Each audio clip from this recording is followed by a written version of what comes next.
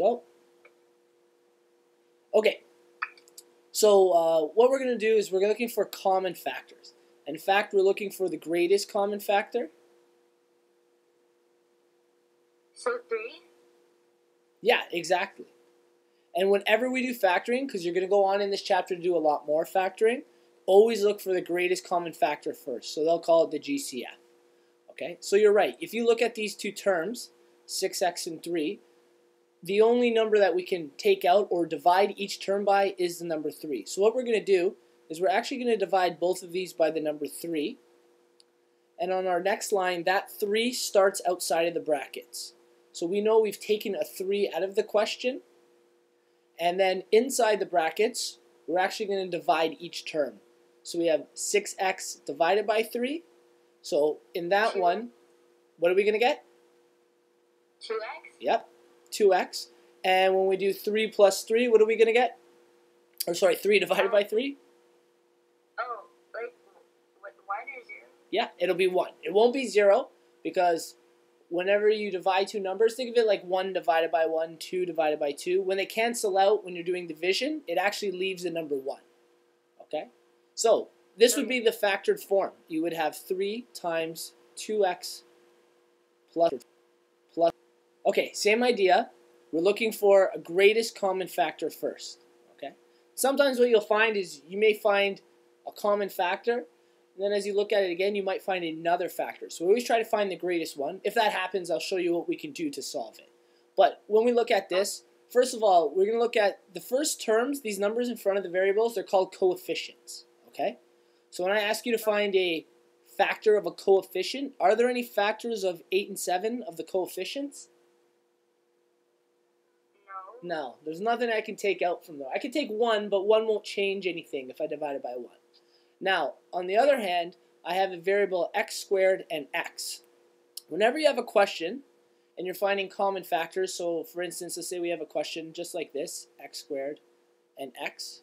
To find a common factor, we're going to divide by the variable with the lowest exponent. So technically, this is to the exponent 1. Okay? So in other words, what's going to happen is I'm going to divide by x to the power of 1. So because there is variables on both of the terms, we're going to divide each of them by x to the power of 1. Same idea as we did Okay. before.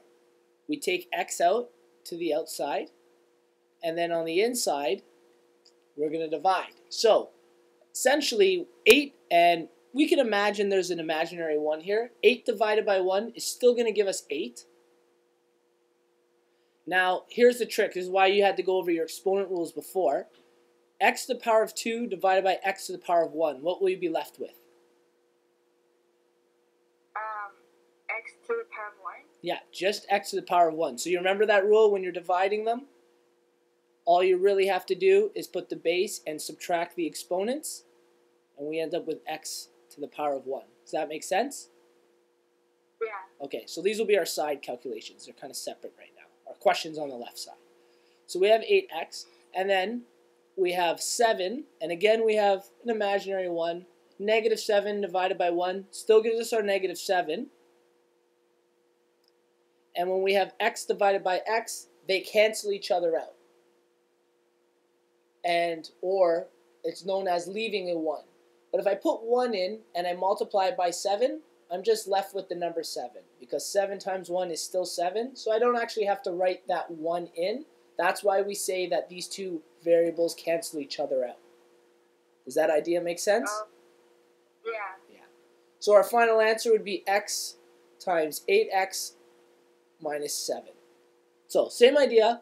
I got to look for the greatest common factor first. So we're looking for a GCF.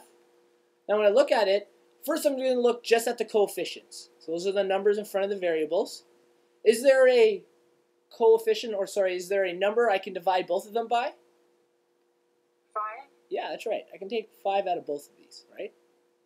But I'm not done. What about my variables? We just talked about them on the other page.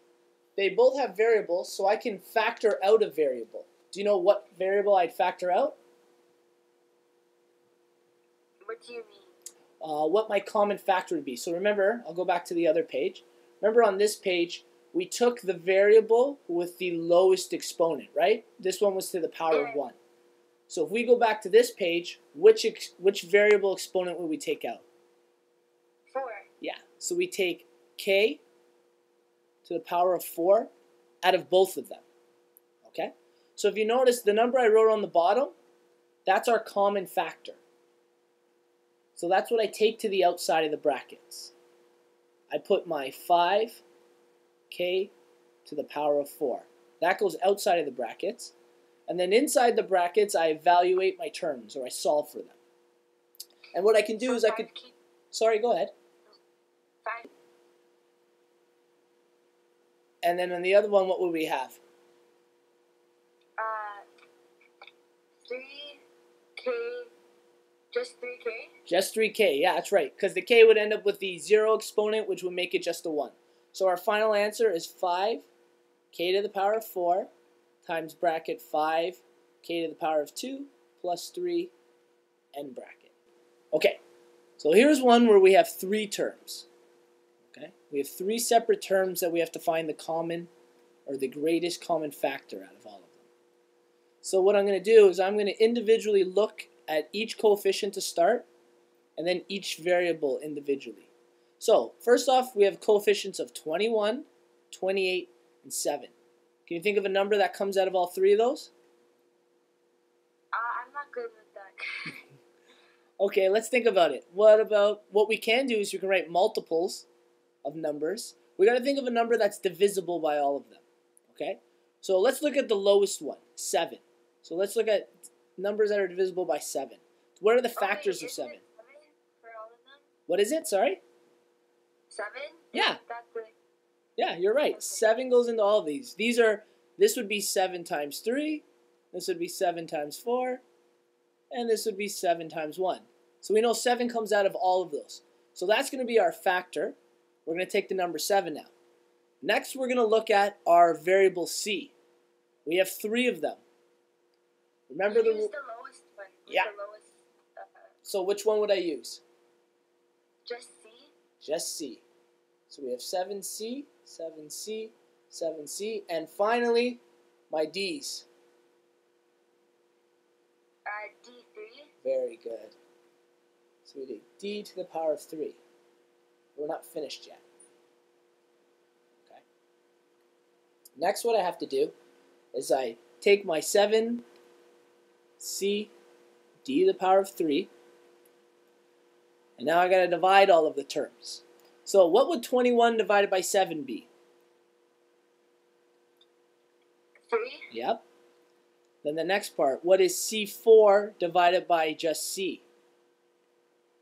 Uh, C three. Yeah, c to the power of 3. And what about d3 divided by d3? Uh, just D Is it just d? or D one. Yeah, it's just D. If I do this, okay, that means I go d3 minus 3. That would be d0. What does d0 equal? Uh, nothing. Do you know what any number to the exponent 0 is? So then with our next number, we have negative 28 divided by 7. Do, do you know what that'll give us? But before. Yep, negative 4. Then we have c squared divided by c. So. So it's just C. Just C. Just c, yeah. Or, or c1, whatever you want to write, whichever you're more comfortable with. They're both right. And then d5 divided by d3. D two.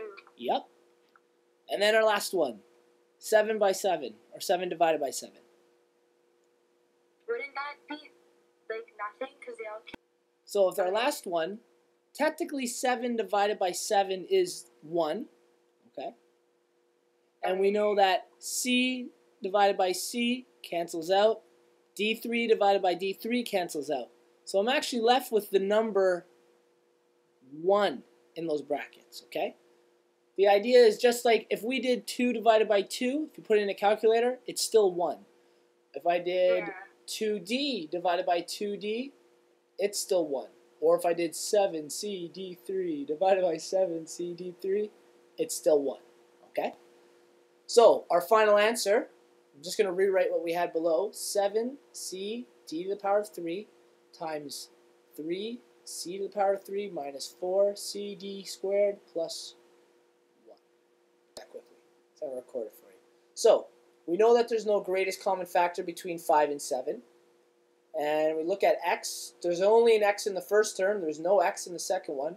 How about a y? Is there a y in the second one? No. No.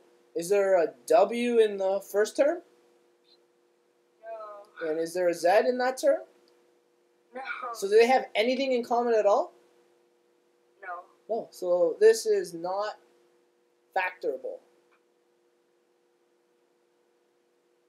That come out all right? Yeah, it did. That's not factorable. There is no common factor in any of the terms in there, so that's essentially finished. That's as simple as that question could get. So again here, we're still looking for a greatest common factor. Okay. And when I look at this, I want you to think of this is 3x times this number, 7z times this, this number. So essentially this is going to become one term. So really it looks like we only have two terms in here. I want you to try to think of that as an idea. Um, in both of the terms, the common factor is y plus 1. y plus 1 exists in both of those. So in fact what I can do is I can divide both of these as a common factor by y plus 1, just like we were doing before. The y plus 1 comes to the outside, and inside the brackets, we figure out what we're left with. Well, because this is y plus 1 divided by y plus 1, we already know that rule that that's going to cancel out. So we're going to be left with 3x. That's one of the terms. And same idea with the second term. We have y plus 1 divided by y plus 1. They'll cancel out, so we're left with the other term, which is positive 7z. So the answer to this, when it's factored, is y plus 1 times 3x plus 7z. Okay, another way of thinking of this, again, we have the same thing. We have two terms, and the common thing is technically these brackets, but these brackets are hard for me to look at. So in math, sometimes what I can do is I can say let, and I'm going to just put a variable. I'm going to say let y equal x minus 3.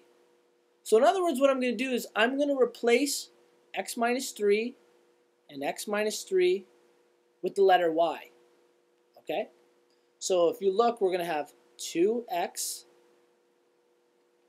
y, because I replaced this with y, just like in our substitution, minus 5 times y. So I replaced those two brackets with the letter y. So now what I'm doing is I'm looking for the greatest common factor between just these two terms. Now this is a little easier to look at. This is what we're used to seeing. If you look at it, I know that I can take the common factor. There's no coefficient, 2 and 5. There's no number I can take out. X is only in the first term. So what's the only thing I can take out of both of these? Y. Y. So I'm going to take Y out of both of them, okay? So in other words, just like factoring, the Y goes to the outside. And in the brackets, what are we left with? Uh, 2x. Yeah, Uh, subtract 5. yeah, perfect. The only thing is we're not done because we technically cheated a little. We replaced the brackets, remember, with the letter Y. So I got to put those brackets back in. So now I'm going to place the letter Y with those brackets again. Those brackets were x minus 3. And I'm going to leave the other brackets there. 2x minus 5. So this is our answer. I'm just going to rewrite it in black. It's x minus 3 times 2x minus 5. So it's the same idea. I just made the brackets a little easier to look at. Okay, first off, we're looking for common factors, or a greatest common factor in all of them. So when I quickly look through this, first of all, it's in order. We have our x squared, then our 2x's, and our 5. Um, but I need a common factor here. So I'm looking through this. There's actually not a common factor for every term. I can't divide everything by something. But if I use the idea of splitting this, okay, I'm just going to make, these are imaginary brackets, okay? And what's important is when I put the imaginary brackets, make sure we still have an operation between them. So we have a plus sign or a minus sign. Make sure that's there. Otherwise, we're going to make it a multiplication question, and that's completely different. So we still have that operation between, and I've put two imaginary brackets. Now what I'm doing is I'm making this two types of common factoring. First, I'm looking for the common factor between these two. And then once I've done that, I'm going to look for a common factor between these two. So to start off, is there a common factor between the first two terms? Just three? Anything else that can come out? x. Yes, good. So 3x. So when we go down to our next one, we have 3x on the outside. And then when we divide it, we're left with 3x plus 5. Okay? Now in our second bracket, I'm going to take a look. I have 3x and 5. Is there a common factor or anything I can take out of that? No. Um, tactically, I could take the number 1 out, okay? But it's really not going to change anything. But in terms of what we have to do, okay, so tactically I could factor out a 1, but we know it's not going to make any difference. So right now what I'm stuck with is plus 3x plus 5, okay? And we technically, there's an imaginary 1 here. We can say it's kind of been factored out. Okay? Now, with what we were doing before, remember our brackets right now 3x plus 5 and 3x plus 5. They're the exact same. So I'm going to factor that bracket out. Um, if you want to replace it with y or b or c, you can always do that. But I'm taking those brackets out and I'm making them 1. That's essentially the end result. Factor it out and make it 1. And in our second bracket, we put whatever's left over. And if you look, we have 3x plus 1 left over. So I put in 3x plus 1. So our final answer is 3x plus 5 times 3x plus 1. Okay, this is the same question, but I've decided when I look at these, I know that 9x and 3x, they'll have something in common, and 15x and 5, they'll have something in common. So I'm going to switch the places of 15x and 3x, okay? So now my question reads 9x squared plus 3x plus 15x plus 5. Okay. Same idea as before. I'm going to find a common factor between the first two and a common factor in the second two. So a common factor for the first two is what? Um, three. 3. Anything else? Uh, three x. Yeah. Good. We know that when we go to the next line, oops, I want that to be black. When we go to the next line, our 3x comes outside, and what's left inside those brackets? Or just three x 3x plus three. Yeah. plus, sorry, 3? Yeah. What does this equate oh to? no. Yeah. Uh, so one. Yeah. 1. Okay. Now in our second bracket, 15x and 5. Is there a common number that comes out? Five. 5, yeah. So that means our 5 again comes to the outside. And what's left inside the brackets? We have Uh. Wait. Wouldn't it be? So now if you noticed, these two brackets are the exact same. So same idea, I would take them out. I take 3x plus 1 out of both of the terms, and whatever is left over, which is 3x plus 5, that gets put into our other bracket. So we get 3x plus 5 in our other bracket. So this bracket that dealt with those two ones I'd underlined. That was the common factor. And the numbers Yeah. inside this bracket were what was left over. And if you look, let's see if we can get both in. Yep. our answer right now. Mm-hmm. Oh, it's lagging a little, sorry, is the exact same as if we go up here.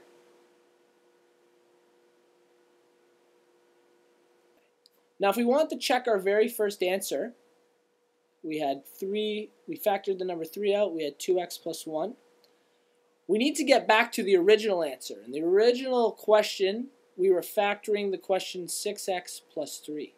So I have to check. So what's happening is this 3 on the outside is technically multiplied by both of the numbers inside the brackets, okay? So when I multiply 3 times 2x, in other words, it's going to look like this. six X, Yeah, you got 6x. And 3 times 1, Three. 3. And if you notice, that's the exact same as our original answer. So I know I factored it right. All right, so we need to check this answer. So in other words, I have to distribute the x by both of the terms inside the bracket again. So what would x times 8x be? Uh, eight X to the power two. Yep. And what about x times negative 7? Seven X. Negative or positive? Negative. Good. And if you notice, we got the exact same answer we did before. So that was our checking. We distributed our common factor back inside to check. And because we have the same equation that we started with, we know we've done the right thing.